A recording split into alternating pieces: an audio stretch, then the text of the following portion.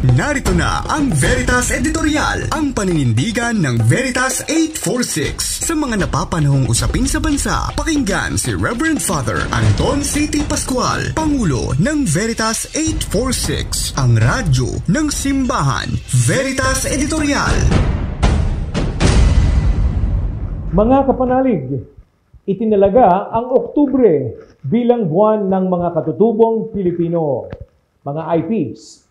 Ang tema ng pagdiriwang sa taong ito ay mga katutubo at katutubong dunong, pahalagahan, pangalagaan, parangalan. Diba ang ganda, kapanalig? Binibigyan diin ng temang ito ang pagkilala at pagkataguyod sa mahalagang papel sa buhay ng ating bayan ng mga katutubo at ng kanilang mga kaalaman at kaugalian.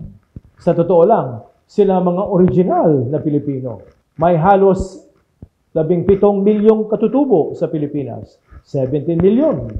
Binubuo nila ang nasa 12% hanggang 15% ng total populasyon ng ating bansa. Kabilang sila sa mahigit na 110 na ethnic linguistic groups at matatagpuan sa 65 na probinsya.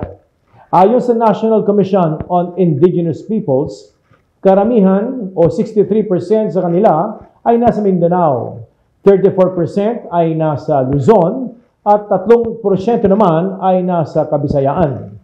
Kinikilala ang mga katutubo bilang pinakamahuhusay na tagapagtanggol ng ating kalikasan. Sila ay tinaguriang on-site stewards sa pagpoprotekta sa ating mga likas yaman. Sa Pilipinas, case in point, ayon sa United Nations Development Program, halos 1-to-1 ratio ng key biodiversity areas o mga lugar na itinilaga bilang sagana sa iba't ibang nilalang at ng ancestral domains ang uh, Pilipinas. Ibig sabihin, malalim na makaugnay ang mga bagay na KBA at mga presensya ng mga katutubo sa mga lugar na ito. Dagdag pa dito, may mga KBA sa bansa na hindi pa itinatalagang protected area ngunit ancestral domain. Ang mga kaalaman, sistema ng pamumuhay, kaugalian ng mga katutubo ay malalim na nakaugat sa kanilang kultura at paniniwala. Gayon man, patuloy na isinasantabi ang mga katutubo. Tinalakay natin sa isang editorial kamakailan ang kwento ng mga katutubo sa Bugsok Island sa bayan ng Balabac sa Palawan noong Hunyo, sinugod at pinalayas sila ng mga armadong lalaki. Ayon sa mga katutubo, ang mga lalaki tauhan ng San Miguel Corporation na may itinayong tourism area doon. Itinanggi naman ito ng korporasyon. Kaya hanggang ngayon, nasa Metro Manila ang ilang katutubo mula sa Bugsok. Patuloy silang nakikipagpulong sa mga ahensya ng pamahalaan. Bumibisita sila sa mga paaralan nakikipag-usap sa mga NGO para ipaalam ang kanilang laban at para humingi ng suporta. Gusto nilang itigil ang karahasan sa pagkataboy sa kanila sa isla nang payapa silang makapamuhay doon.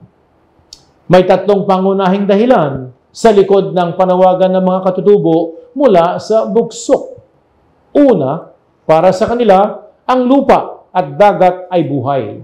Sa mga ito, nakasalalay ang kanilang kabuhayan gaya ng pagkasaka at pangingisda. Pangalawa, kagabit ng kanilang pagkakakilanlan o identity ang kultura ng isla at lupang ninuno. Aniya, ito ang kanilang pinagmulan at ito ang kanilang magiging kinabukasan. Panghuli, ipinaglalaban lamang nila ang kanilang mga karapatan.